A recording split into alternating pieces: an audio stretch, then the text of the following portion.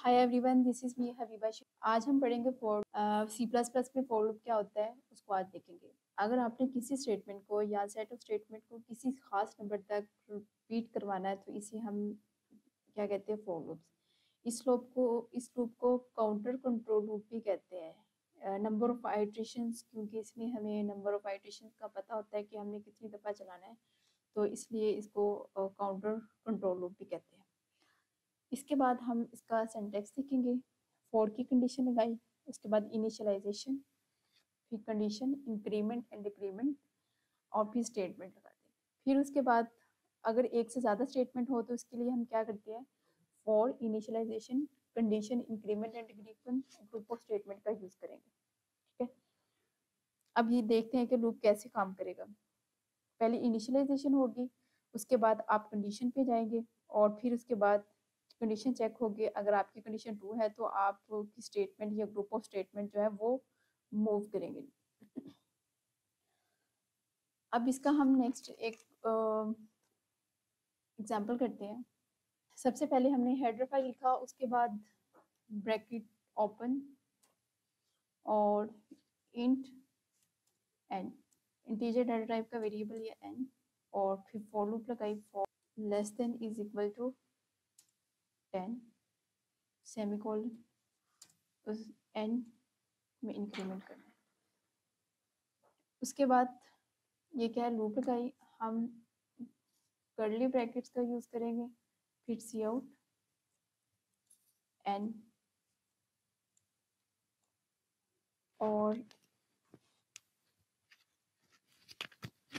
हम इसमें स्पेस दे देंगे और एट द एंड क्या आ जाएगा? सेमी कॉलन उसके बाद ब्रैकेट क्लोज रिटर्न ज़ीरो और सेमी कॉलन आ जाएगा अब हम इसको रेड करते हैं। For a n is equal to one less it is equal to ten और एन का इंक्रीमेंट हैं। In n using I stream using namespace as std int main, n is equal to 1 and less than is equal to 10 n में increment करते हैं फिर bracket open C out bracket close और इसमें space नहीं दी। Return zero इधर for लिखा हुआ है फोर लिखना है। अब हम इसको कंपाइल करते हैं।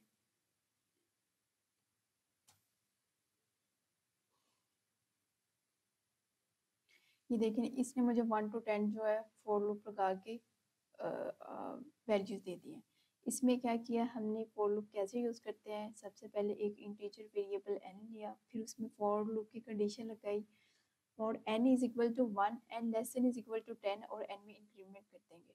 ये, और फिर उसके बाद सी आउट एन पहले, सबसे पहले एन क्या है? One one less n is equal to ten condition true है तो वो हम सी आउट में वन डिस्प्ले कर देगा। फिर उसके बाद इंक्रीमेंट होगा। इंक्रीमेंट होके एन की वैल्यू क्या हो जाएगी? Two two less than is equal to ten और फिर सी आउट में वो टू डिस्प्ले कर देगा। फिर इंक्रीमेंट होगा। फिर थ्री थ्री एन की वैल्यू क्या हो जाएगी? Three three less than is equal to ten और अभी भी कंडीशन टू है तो वो सी आउट में थ्री डिस्प्ले कर देगा। इसी तरह फोर वो इंक्रीमेंट होगा तो फोर हो जाएगा। Four less than is equal to ten और आउटपुट में वो फोर डिस्प्ले कर देगा। इसी तरह वो टेन लूप तक, क्योंकि हम लोग ने इधर टेन की कंडीशन लगाई है तो वो टेन वैल्यूज़ हमें डिस्प्ले करके दे देगा। इस तरह ये लूप फॉर लूप एग्जीक्यूट करती है।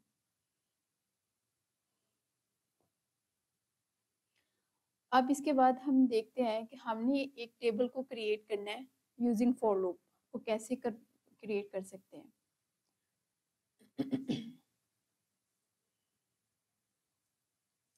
हेडर के बाद इंट टी ये जो हम टी ले रहे हैं, ये टेबल के लिए ले रहे हैं। इंट टी उसके बाद कॉमा एन कॉमा एन जो है, वो लूप के लिए लेके और एंड टेबल कहाँ तक एंड करवाना है? इसलिए एंड ले रहे C out enter table number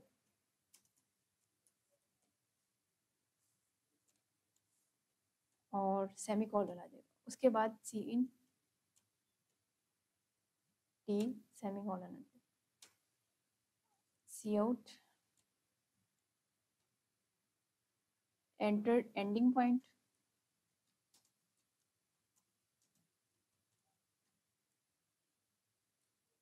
उसके बाद सेमी कॉलन आ जाएगा और C in insertion operator extraction operator and आ जाएगा।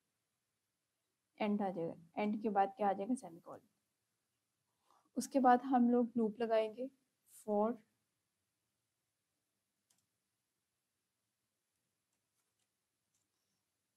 n is equal to 1 semicolon, n less than is equal to end semicolon, फिर n में इंक्रीमेंट करते हैं। उसके बाद ब्रैकेट ओपन और डिस्प्ले कर देंगे हम C O N insertion operator और डबल कोर्स में क्या आ जाएगा? मल्टीपल का सिंबल क्योंकि हम टेबल को मल्टीप्लाई करवा रहे हैं, इसलिए और फिर टी आ जाएगा, फिर इंसर्शन ऑपरेटर फिर डबल कोर्स में क्या आ जाएगा? इक्वल का साइन और फिर insertion operator n multiple T. और एट द एंड क्या आ जाएगा? एंटर और सेमी कॉलन और ब्रैकेट क्लोज रिटर्न ज़ीरो और ब्रैकेट क्लोज आ जाए अब हम इसको रन करते हैं।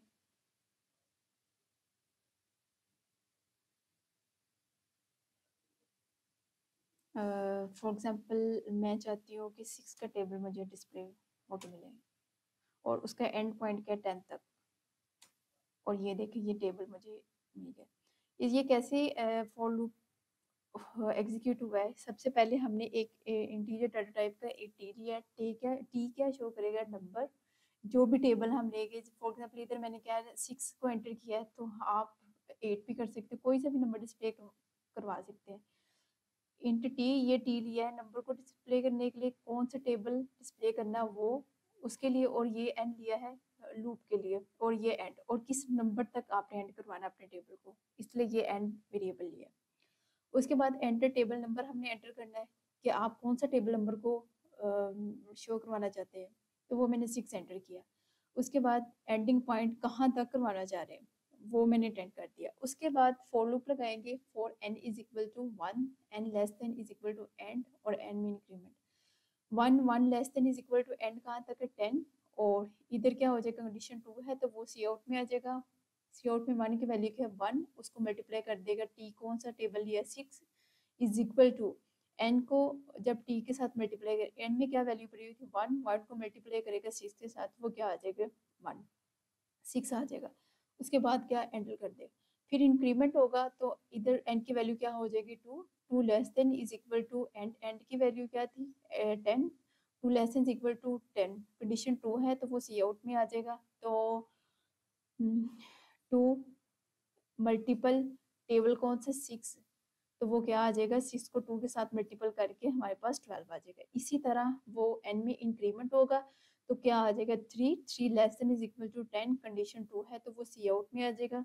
Three multiple six is equal to eighteen इस तरह ये टेबल आउटपुट में शो होगा। इस तरह ये फॉर लूप एग्जीक्यूट होते हैं। अब हम देखते हैं।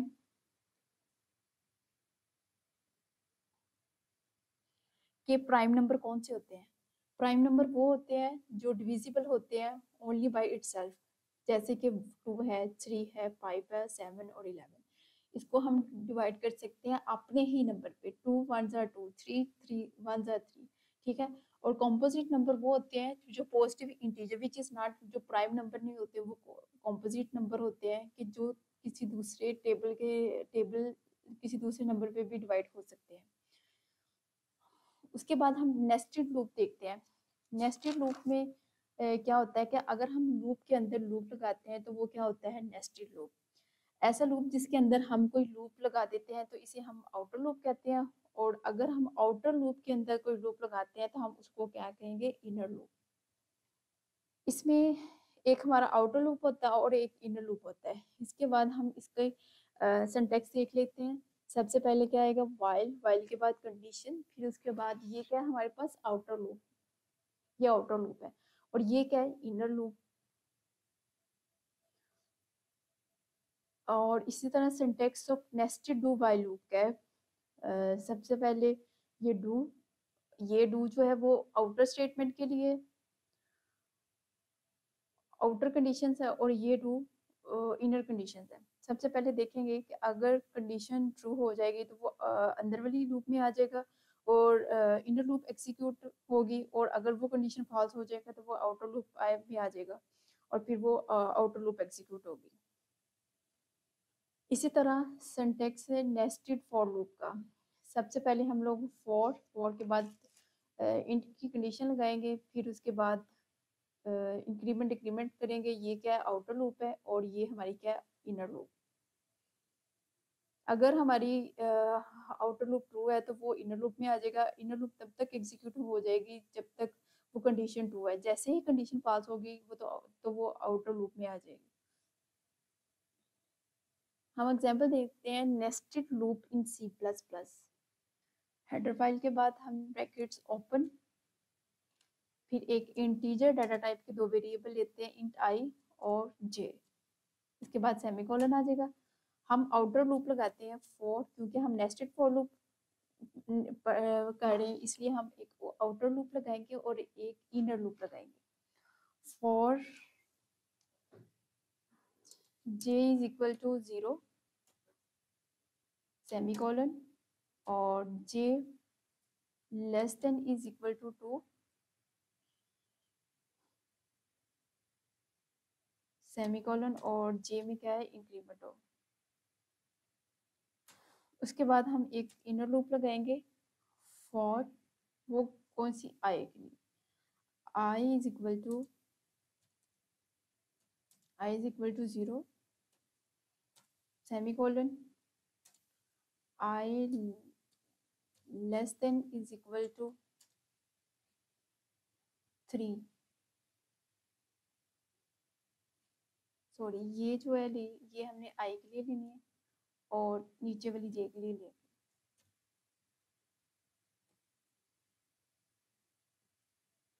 j is equal to zero j less than is equal to j less than three और फिर सेमी कॉलन और जे भी इंक्रीमेंट कर लें। इस लूप के बाद भी ब्रैकेट ओपन आएगी।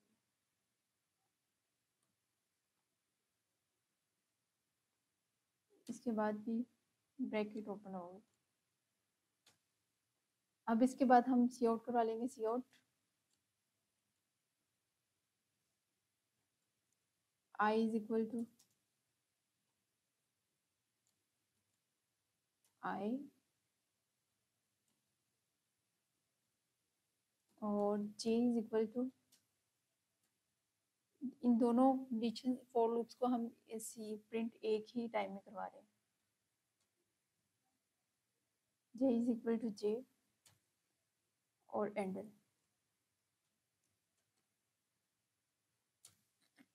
उसके बाद हम लूप को क्लोज कर लेंगे।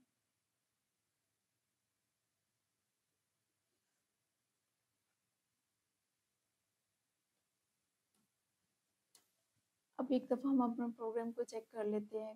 कोई चीज़ मिसिंग तो नहीं है। इंटीजर वेरिएबल है आई और जे और लूप लगाई i is equal to zero i less than is equal to two i में इंक्रीमेंट करेंगे। उसके बाद हम bracket open for j is equal to zero, j less than three और जे में इंक्रीमेंट करेंगे और फिर उसके बाद ब्रैकेट ओपन और ये, अब इसको हम क्या करेंगे? रन करेंगे।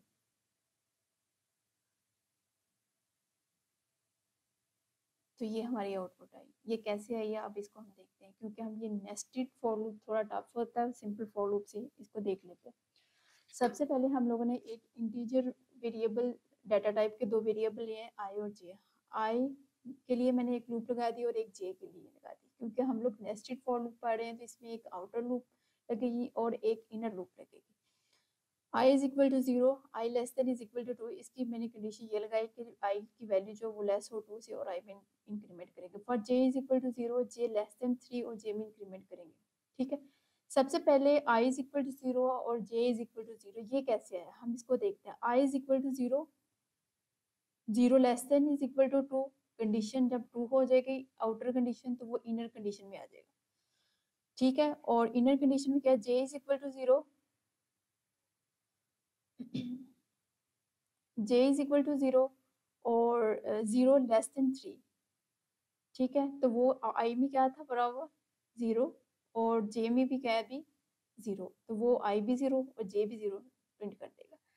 अब उसके बाद जे में वो इंक्रीमेंट करेगा इनर लूप भी क्योंकि पहले इनर लूप एग्जीक्यूट होगी जब तक वो आ, आ, उसकी एग्जीक्यूशन कंप्लीट नहीं हो जाती तब वो तब तक वो एग्जीक्यूट करती रहेगी। अब जे में इंक्रीमेंट होके क्या हो जाएगा? One one less than three condition true है तो वो क्या आई की वैल्यू ज़ीरो ही है और जे में क्या हो जाएगा? वन उसके बाद जे में फिर इंक्रीमेंट होगा जे की वैल्यू क्या हो जाएगी? टू तो two less than is equal to three तो आई की वैल्यू ज़ीरो ही रहेगी और अभी भी कंडीशन टू है तो वो जे में क्या आ जाएगा? टू ठीक है? अब जब इंक्रीमेंट होगा तो जे की वैल्यू क्या हो जाएगी? Three three less than three condition false होगी। अब वो आउटर लूप में चले जाएगा। आउटर लूप में क्या है? वो आई की वैल्यू को इंक्रीमेंट करेगा तो वन हो जाएगी। I is equal to one one less than is equal to two अभी कंडीशन टू है तो अब वो आई की वैल्यू में क्या डिस्प्ले कर देगा? वन जैसे कि ये देखें। आई की वैल्यू में डिस्प्ले कर देगा वन और जे की लूप ऐसे ही चलती रहेगी। जे में क्या है? ज़ीरो पड़ा हुआ है तो वो zero less than is equal to three तो जे में क्या आ जाएगा? ज़ीरो अब उसके बाद आई की वैल्यू में इंक्रीमेंट होगा। J less than is equal to two j less than is equal to zero उसके बाद क्या होगा? जे की वैल्यू में अगेन इंक्रीमेंट होके क्या आ जाएगा? वन तो one less than is equal to three तो आई की वैल्यू क्या है? वन और वन ही रहेगी, और जे में क्या हो जाएगा? वन अब उसके बाद दोबारा जे में इंक्रीमेंट होगा तो वो क्या हो जाएगा two two less than is equal to three तो अभी भी कंडीशन टू है तो वो जे में क्या आ जाएगा टू और आई में आई वन ही रहेगा। अब इसके बाद जब वो कंडीशन चेक करेगा three three less than is equal to i में जे में इंक्रीमेंट होगा और थ्री हो जाएगा थ्री लेस देन थ्री तो कंडीशन फॉल्स हो जाएगी तो वो फिर आउटर लूप में चले जाएगा। आउटर लूप में पहले ज़ीरो और वन तक डिस्प्ले उसने करवा दिया, अब उसको इंक्रीमेंट करके क्या कर देगा टू तो two is equal to zero और two less than is equal to two condition true है तो वो आई की वैल्यू क्या हो जाएगी टू और फिर वो जे में आ जाएगा। तो इस तरह ये लूप चलती रहेगी आउटर लूप और नेस्टेड वो इनर लूप। आउटर लूप की कंडीशन टू होगी तो वो इनर लूप में आ जाएगा इनर लूप तब तक चलेगी जब तक वो आ, उसकी एग्जीक्यूशन कंप्लीट नहीं हो जाएगी। जैसे ही उसकी एग्जीक्यूशन कंप्लीट हो जाएगी तो वो लूप से बाहर आ जाएगा और आउटर लूप में आ जाएगा। तो आउटर लूप की कंडीशन जो है वो चलना शुरू हो जाएगी। जैसे आउटर लूप की कंडीशन पास हो जाएगी तो वो दोबारा इनर लूप में आ जाएगा और इनर लूप की कंडीशन चलेगी। जब तक हमारी जो कंडीशन लगाई है तब ये एग्जीक्यूशन तब तक होती रहेगी जब तक ये कंडीशन हमारी जो लगाई है लूप की ये कंप्लीट नहीं हो जाती। तो यहाँ आपको नेस्टेड फॉर लूप की समझ आ गई होगी किस तरह इस ये इस, ये वर्किंग करता है। उसके बाद हम देखते हैं कॉन्टिन्यू स्टेटमेंट कॉन्टिन्यू स्टेटमेंट क्या करता है?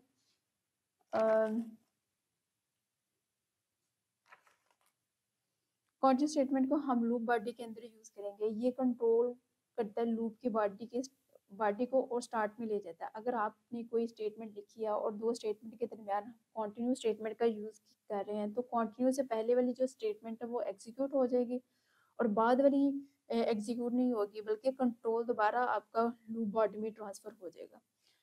इसके बाद हम इसका फ्लो चार्ट देखते हैं, जैसे कि ये देखिए कंडीशन कोड इसमें कंडीशन लगेगी तो वो कंडीशन लगेगी। अगर तो आपकी कंडीशन ट्रू है तो वो बॉडी के अंदर ही रहेगा। जैसे ही वो आपकी कंडीशन पास हो जाएगी तो वो कंटिन्यू में आएगा। कंटिन्यू में फिर वो आपकी कंडीशन चेक करेगा। अगर कंडीशन ट्रू है तो वो फिर लूप चलती रहेगी। अगर वो कंडीशन फॉल्स है तो वो लूप से बाहर आ जाएगा एग्जिट कर देगा। हम इसका एक प्रोग्राम करते हैं।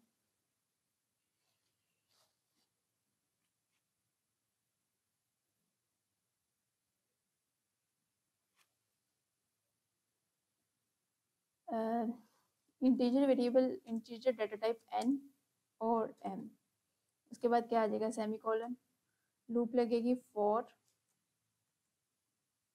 n is equal to one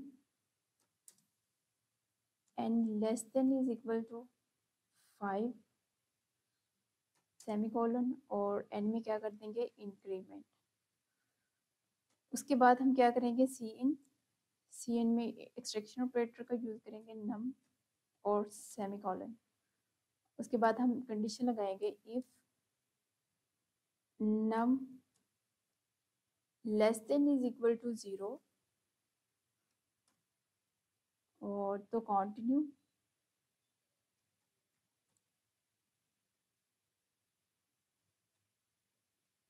continue semi colon उसके बाद C out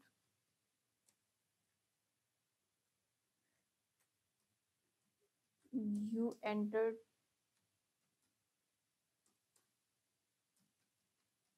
you entered इधर क्या आ जाएगा नम और फिर इंसर्शन ऑपरेटर और एंडल आ जाएगा।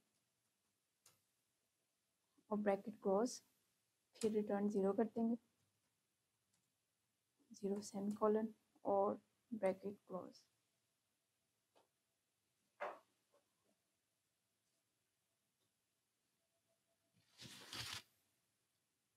एंटर अभी एक दफ़ा हम अपना प्रोग्राम चेक कर लेते हैं, इसमें कोई एरर तो नहीं है।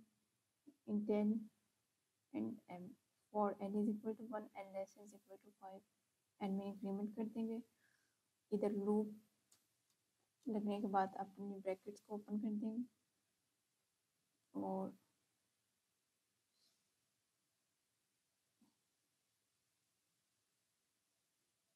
इधर सी आउट सी आउट की कंडीशन मिसिंग है। C out enter a number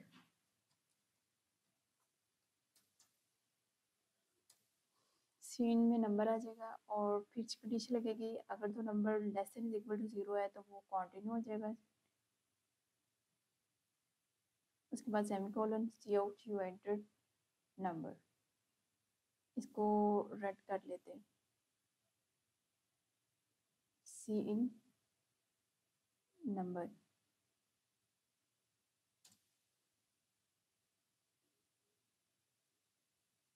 देखते हैं इधर कहाँ एरर आ रहा है। इंट मेन के बाद bracket int n and m num ये देखिए, इधर एम लिया है नम लेना इधर। अब रन करते हैं।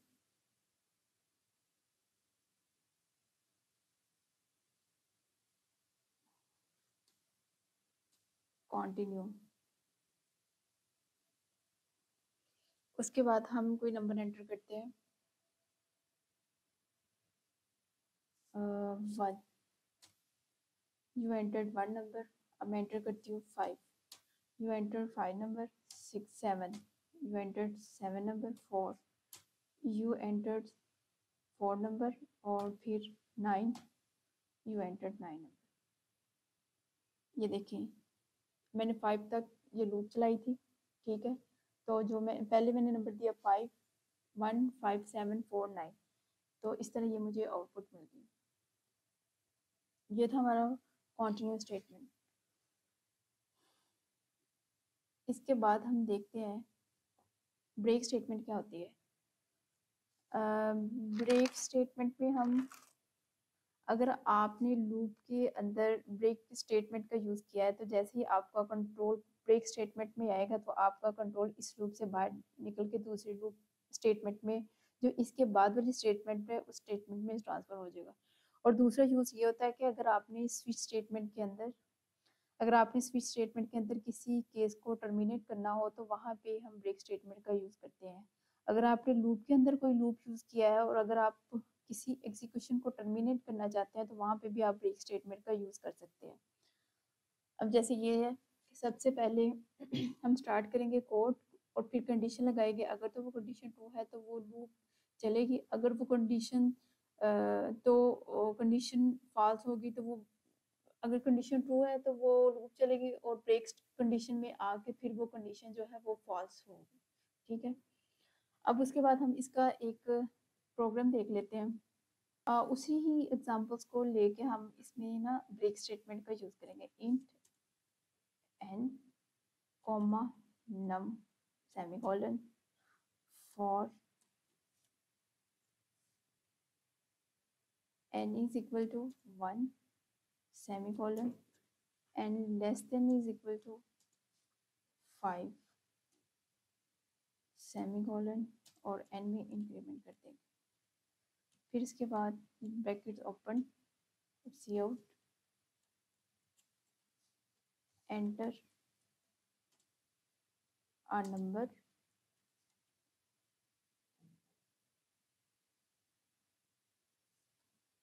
semicolon आ जाएगा, उसके बाद सी इन नंबर आ जाएगा. इसके बाद कंडीशन लगेगी if num less than is equal to zero है। तो हम ब्रेक स्टेटमेंट का यूज़ करेंगे सेमी कॉलन के साथ फिर प्रिंट कर देंगे। कोई सा भी number you enter and insertion operator और नम फिर क्या है? एंडल और ब्रैकेट क्लोज क्लोज के बाद एक और ब्रैकेट आएगी। इसको हम रन कर लेते हैं।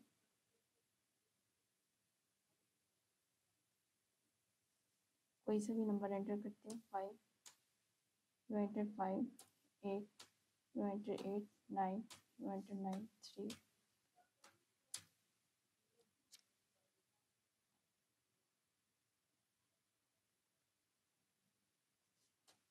eight, nine, five, six three तो ये है हमारी आउटपुट इसमें क्या होता है कि आपका कंट्रोल इस लूप से बाहर निकल आता है दूसरी स्टेटमेंट जो इसके बाद वाली होती है, उसमें ट्रांसफ़र हो जाता है. और अगर आपने स्विच स्टेटमेंट के अंदर भी किसी केस को टर्मिनेट करना है तो हम ब्रेक स्टेटमेंट का वहाँ भी यूज़ कर सकते हैं. अगर लूप के अंदर कोई लूप को यूज़ करना है तो वहाँ भी हम उस लूप को टर्मिनेट करने के लिए हम स्विच ब्रेक स्टेटमेंट का यूज़ कर सकते हैं। तो ये थी हमारा एग्ज़ाम्पल और इसकी आउटपुट अगर ये देखिए, ये जितने भी मैंने नंबर एंटर किए, ये आउटपुट कैसे आई है कि जितने भी मैंने नंबर एंटर किए हैं, वो सब पॉजिटिव हैं तो इसलिए हाँ हमें आउटपुट शो हो गया। जैसे ही मैं कोई नंबर ज़ीरो एंटर करूँगी तो आउटपुट मुझे नहीं मिलेगा। अब ये देखिए, मैं कोई नंबर ज़ीरो एंटर करती हूँ तो आउटपुट में क्या आता है? आउटपुट नहीं मिलेगी, ठीक है? जब तक आप ज़ीरो नंबर देंगे तो वो आउटपुट शो होती जाएगी। जैसे ही आप ज़ीरो से कम नंबर देंगे तो प्रोग्राम जो नहीं है, वो लूप से बाहर निकाल देगा। तो ये था हमारा ब्रेक स्टेटमेंट। आई होप आपको आज के लेक्चर की समझ आ गई होगी।